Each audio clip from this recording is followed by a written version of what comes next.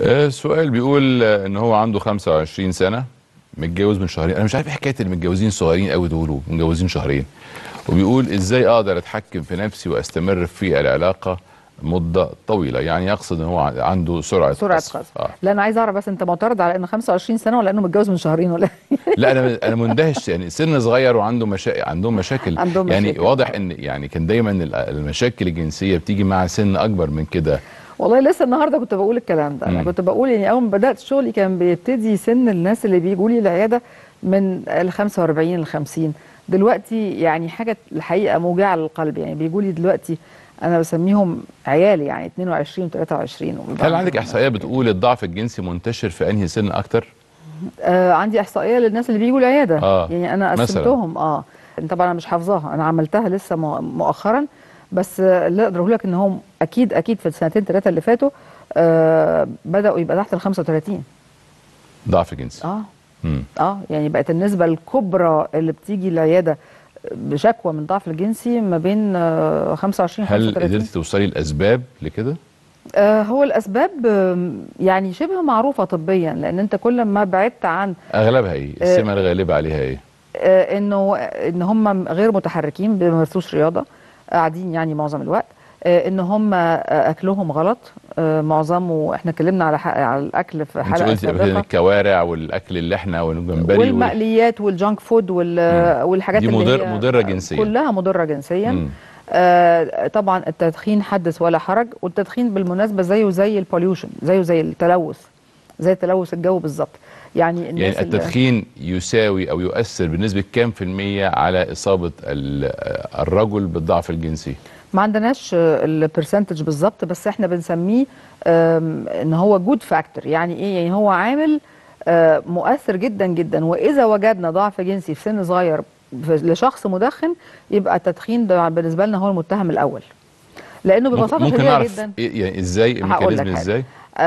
ببساطة ش... لسه. كنت هحكي ببساطة شديدة جدا ال- التدخين ده عبارة عن تقريبا 3800 حاجة و60 مكون في السيجارة مم. مكون سام كلهم حاجات سام ده ينطبق على السيجارة والشيشة؟ آه, آه طبعا. والسيجارة الإلكترونية؟ والسيجارة الإلكترونية دلوقتي طبعا فيها كلام كبير كتير جدا جدا بالذات اللي فيها flavors يعني السيجارة الإلكترونية تؤثر تصيب ال- الرجل بالضعف الجنسي؟ لسه ما عملوش أبحاث في الحتة دي مم. ولكن الحاجات اللي فيها flavors اللي فيها اللي هي الطعم يعني في سيجارة إلكترونية في آه، بالفاكهة في بال آه، آه، بالحاجات اللي هي بالشوكولاتة بالمش عارف إيه.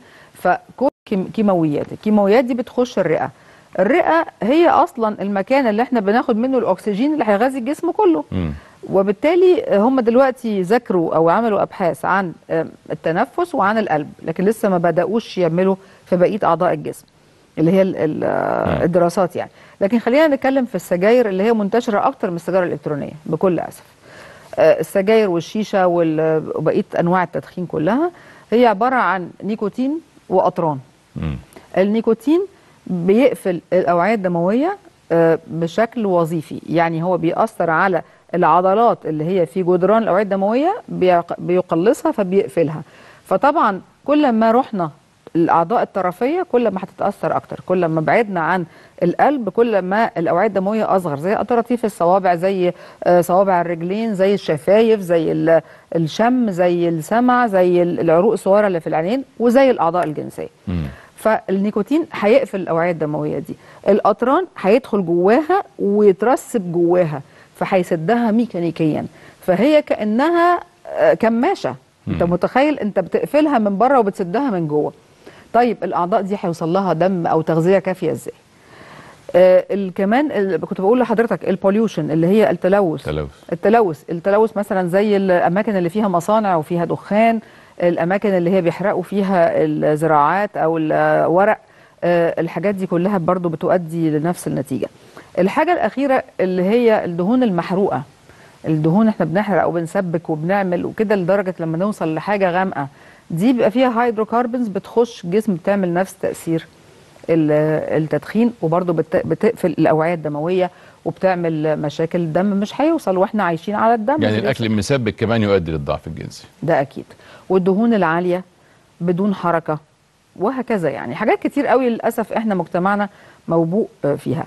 ولكن الخبر لا إحنا عايزين مرة نحط يا دكتورة هبه روشته أو نقول الممنوعات لعدم الإصابة بالضعف الجنسي إيه بالنسبة للرجل؟ مرة نقولها كده ورا بعضها وننزلها على الشاشة عشان برضو الرجال تستفيد منها. أنا قبل ما أجي كمان أبلغها فريق الاعداد آه، ينزلها. آه آه لا أنا ما فيش مشكلة. مم. لأنه كمان حضرتك دلوقتي المسألة بقى بتدخل كمان في فيش السايكل يعني اللي هي في حلقة مفرغة إن هو بيبقى متأزم نفسيا ويبتدي موضوع ممكن يقلب معاه بعنف مع زوجته مع عروسته. وبعدين كمان بيبقى فيها فضايح بقى في الأماكن المجتمعات الصغيرة إن بيتعرف إن فلان ده كذا. وبقى طبعا المجتمعات دي لا تؤمن بالعلاج فيقول لك ده خلاص مكتوب عليه طول عمره ما بيعرفش يتجوز. حاجات بقى إحنا في غنى عنها تماما. بس الخبر الحلو اللي عايزه أقوله لحضرتك إن كل ده له علاج.